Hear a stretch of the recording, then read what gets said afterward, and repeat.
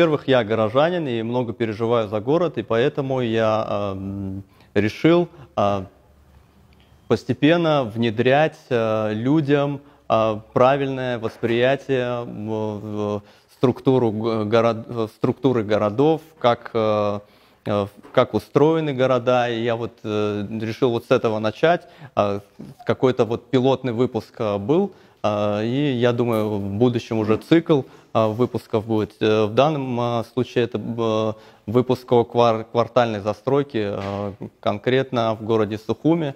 Ну и это касается, если говорить глобально, всех городов постсоветского пространства. Это мой город. В разные периоды он назывался по-разному. Сейчас мы называем его Сухум, ну или Ахуа, если по-абхазски. Он не такой модный, как Милан или Бордо, не такой прогрессивный, как Мумбай или Торонто, но он мой, такой старинный и уютный, город, который научил меня замечать детали и хранить воспоминания.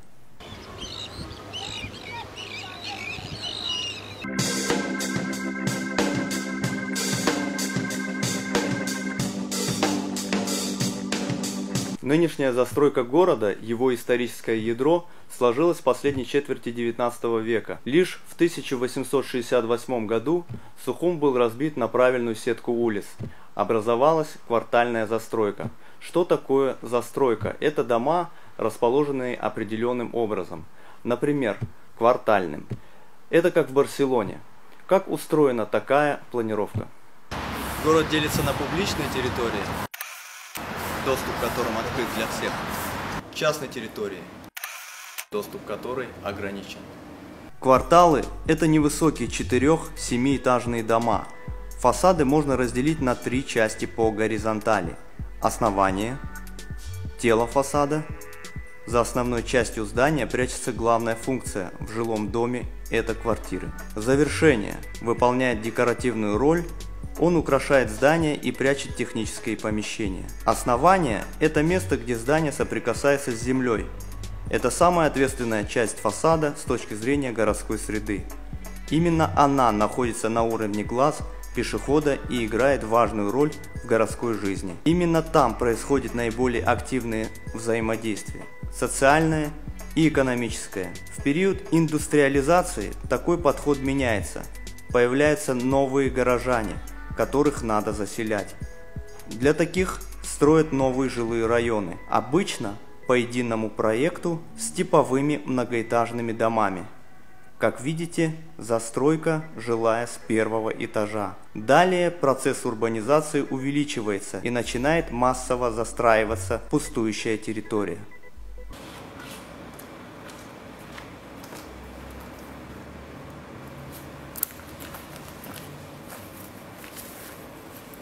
В СССР жилые районы осваиваются по микрорайонному принципу. Дома разбросаны в пространстве, окруженные проезжей частью, и для транзита внутренняя территория уходила под озеленение площадки для детей и отдыха. Все было распланировано. У советских домов упразднили зону первых наземных этажей. На сегодня возникают проблемы. Очевидно, нехватка помещений для торговли и оказания услуг. Возникают стихийные киоски. Первые этажи жилых помещений реконструируются и переводятся в нежилые. Как результат, неблагоприятная среда.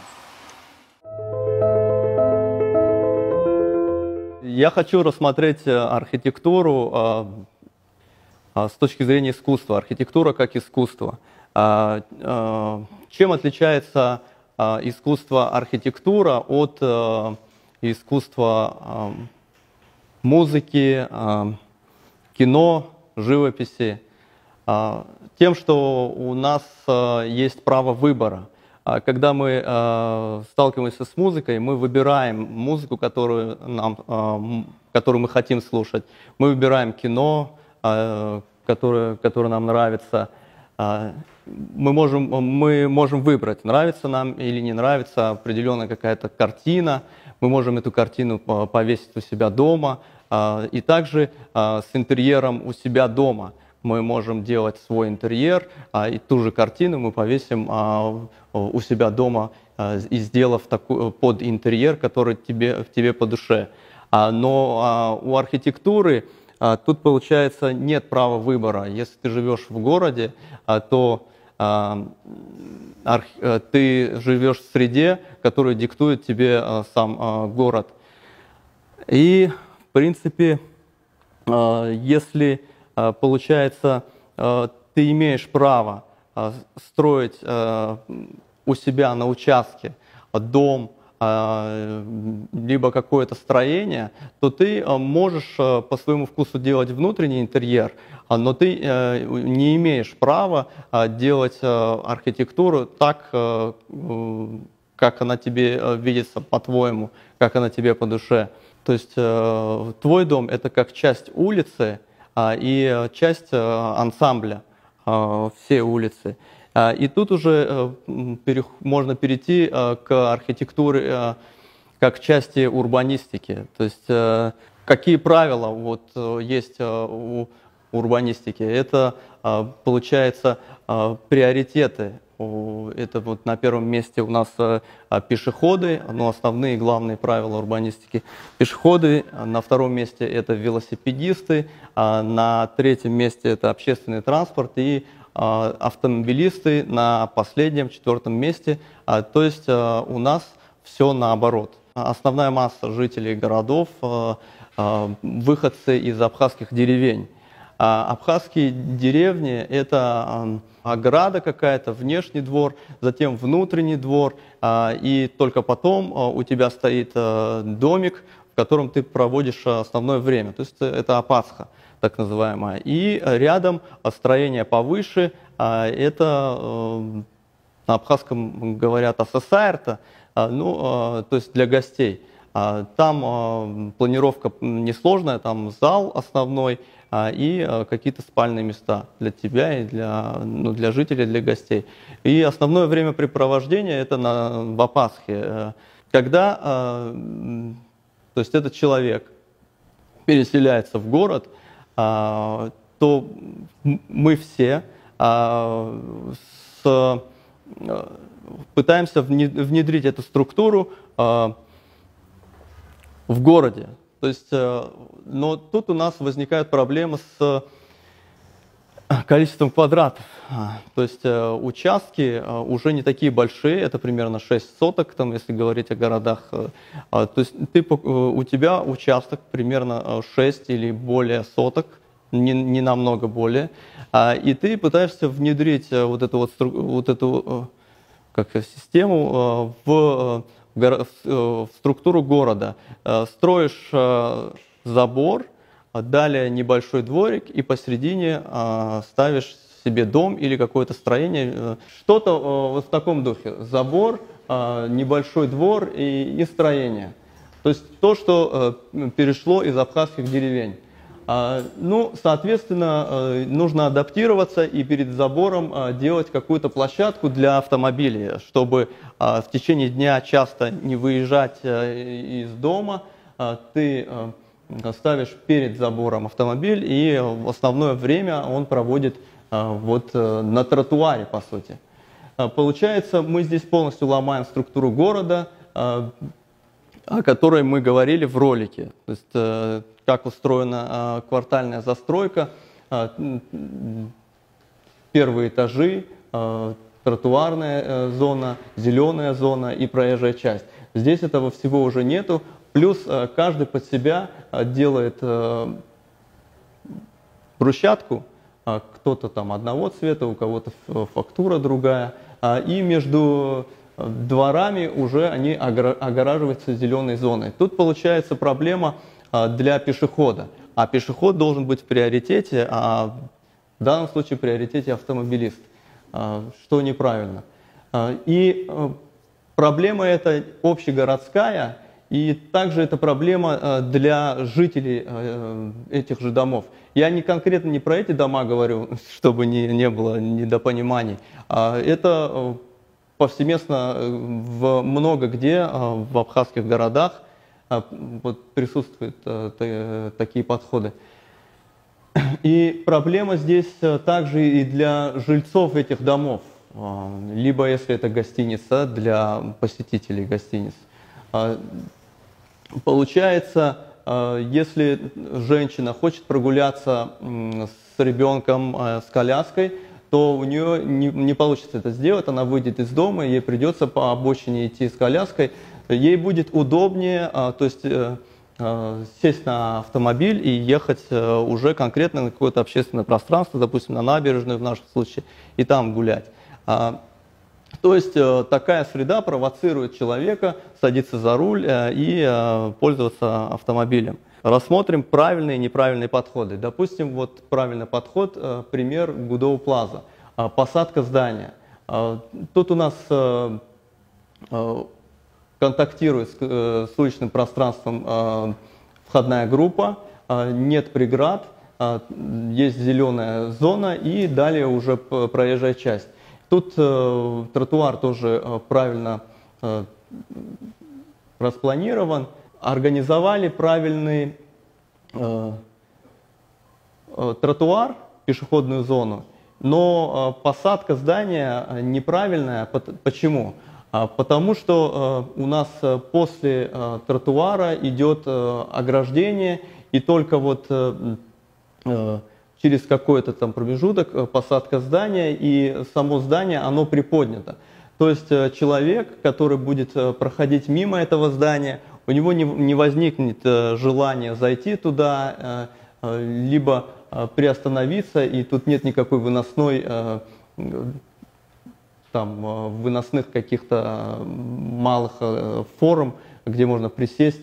То есть в это здание нужно целенаправленно приехать и уже после зайти и проводить там время. Что не скажешь э, за это э, здание, это уже э, отель-ресторан «Леон». Хотя в здании Дома Москвы, что было до этого, что показывалось, те же функции. Там есть и номера гостиничные, и там же есть ресторан.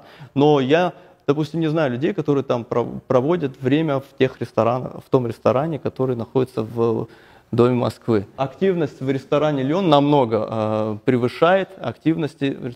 То есть э, э тут получается э, связано это, наверное, и с кухней, как бы, но э, и э, посадкой здания обязательно. Еще одна посадка здания. Я конкретно сейчас не хочу там конкретно кого-то обвинять в чем-то. Возможно, они не знают об этом. Мне просто хочется, э, я пытаюсь объяснить э, людям, что правильно, что неправильно. В этом случае полностью нарушаются э, принципы квартальной застройки, что вот есть у соседних строений, после проезжей части сразу же на тротуаре стоят машины, тут залит, э, залито для автомобилей, что у нас было э, и в случае, где мы говорили про частные дома. Э, ограда и э, внутри уже угл, э, внутренний дворик какой-то залитый бетоном, и только потом уже строение. Про тротуар в Доме Москвы. Один из лучших тротуаров, один из правильных тротуаров в Сухуме, если брать э, конкретно Сухум в пример – а, то а, здесь а, у нас есть транзитная зона, где может человек пройти, и зона паркинга, но она разделяется клумбами, то есть озеленением каким-то. И в этом случае Дом Москвы сделали все правильно. Там же рядом уже неправильный подход, с, если говорить про тротуары. Здесь у нас контактирует с уличным пространством, получается, входная группа, а, но а, для тротуара нет места. Оставили место для парковок э, специально, вот, чтобы было удобно заехать. К чему все это? Получается, э, наш город адаптирован э, для автомобилистов, и, и когда что-то новое строится, я показал для примера новые строения, относительно новые строения последних годов – они а, в основном делают для автомобилистов. То есть, чтобы было удобно подъехать, а, приехать. И пользуются ли э, здания популярностью, пользуются ли вот эти вот первые этажи популярностью так, как э, пользуется популярностью тот же Кудоу Плаза, либо Леон. Я думаю, по моим наблюдениям, тут нет в таких строениях нет активности.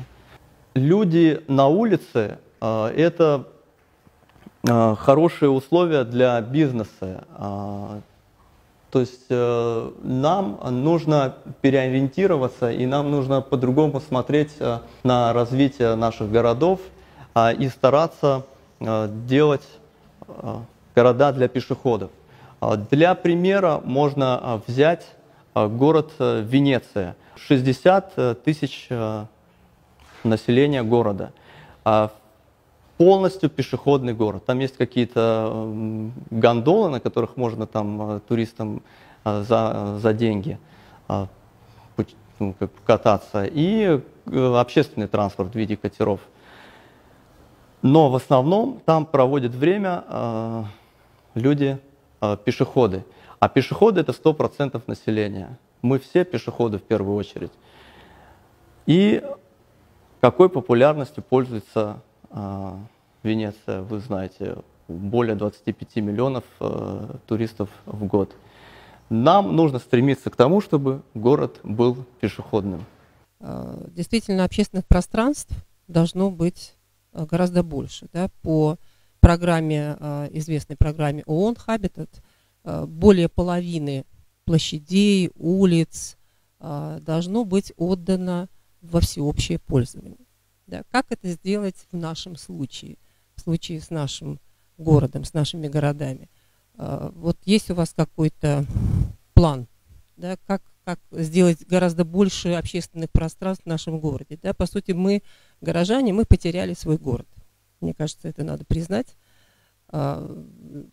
Вот наш город э, нам не принадлежит. Он принадлежит э, каким-то собственникам, частникам, и даже общественные пространства, в общем-то, стали такими транзитными какими-то коридорами, в которых, в общем-то, не очень интересно находиться и неуютно. А есть какое-то видение, какой-то план, вот как, с чего надо начинать э, эти преобразования? Ну, обязательно генплан города, который мы э, до сих пор не имеем.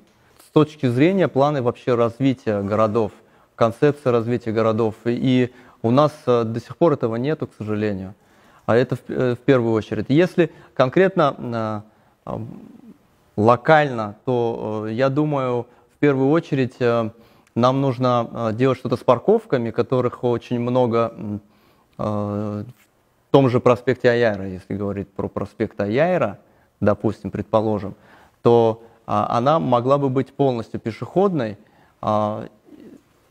но Э, в основном там э, парковки.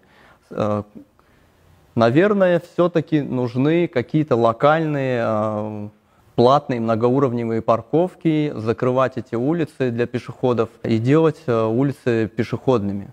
А тот же проспект Мира можно сделать пешеходным. Он сейчас тоже вроде как перекрыт. Сообщения нет автомобильного, но они все паркуются. То есть работники а, вот этих вот строений, которые идут вдоль этой улицы, они паркуются здесь же и э, работают. И получается, э, машины занимают э, огромное место, ну, огромную площадь э, и проводят время практически э, с утра до вечера. Просто вот стоит машина и никому не нужна она, вот она стоит э, полдня. Я думаю, нужно в, э, в виде эксперимента просто э, предупредить и сказать, вот эти там две недели мы закрываем и наблюдать за тем, где они будут парковаться, эти люди. Как ты смотришь на такое явление, как общественный транспорт? Насколько он у нас вообще соответствует современному пониманию транспорта общественного? Потому что это, ну, пожалуй, основ, одна из основных альтернатив, которая может дана, быть дана горожанину, чтобы он из точки А точку Б мог попасть. Ну, не всегда, например, если говорить о, о ходьбе в, по центру, то да, но если говорить, скажем, о том, что у меня есть, появилось дело на новом районе или на маяке, ну, как бы уже как бы проблематично пройтись пешочком. Тут нужно создав, создавать условия а, для общественного транспорта, чтобы а, автомобилист выбирал общественный транспорт. Допустим, а, у тебя есть автомобиль, но ты понимаешь, что проще будет э, съездить э, на троллейбусе из как, с какого-то там места до какого-то. Так сложилось, что у нас человек, который передвигается обще... ну, на общественном транспорте, он почему-то выбирает, в основном выбирает маршрутное такси, маршрутку. Получается так называемая маршрутка. А, она очень, она очень популярна в Сухуми, в городах Абхазии, потому что она двигается быстрее и она комфортнее. Опять-таки надо создать условия, чтобы автомобилист а, э, выбирал между своим автомобилем и а, общественным транспортом. То есть, если ты выезжаешь куда-то за город, ты садишься на свой автомобиль и едешь в гости куда-то за город, либо в деревню к бабушке. А, а по городу ты выбираешь общественный транспорт, потому что ты понимаешь, если я сейчас на автомобиле поеду куда-то, то мне нужно будет искать парковочное место, потом дороги узкие, я не смогу там проехать. А есть, э, если еще если вообще нужно а, выделять конкретные полосы для общественного транспорта, чтобы они свободное движение, э, чтобы у них было, чтобы им никто не мешал. Ты также э, сталкиваешься перед выбором а, и выбираешь э, выбор твой в пользу общественного транспорта. Лучше я поеду на троллейбусе, а моя машина постоит у меня в гараже. А если понадобится куда-то съездить за город, я поеду на своей машине.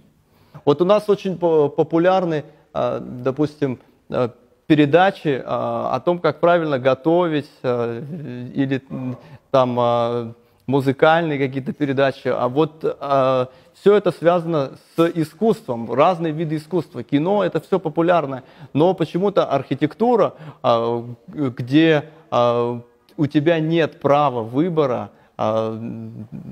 ты не можешь выбирать, в каком городе тебе жить. Ты живешь в городе, ты не можешь выбирать архитектуру к, города, потому что э, ее дают тебе архитекторы, которые вот проектируют. Либо Э, люди, которые строят дома.